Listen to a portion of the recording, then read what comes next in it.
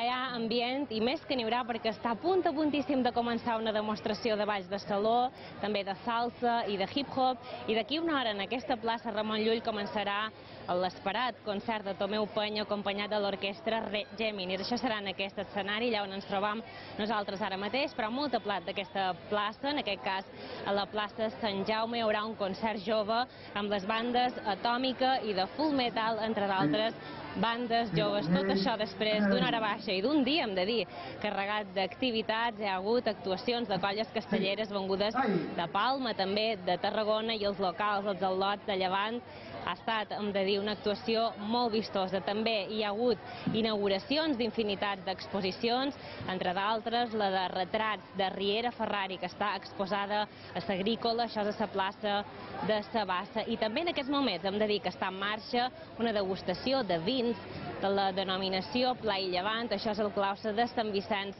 Ferrer. A banda de tot això, d'aquest cúmul d'activitats, com sempre, hi ha disposades les actuacions, les atraccions, volem dir, de fira al llarg del passeig ferrocarril. Tot això en aquestes festes de primavera que començaren ahir aquí a Manacor.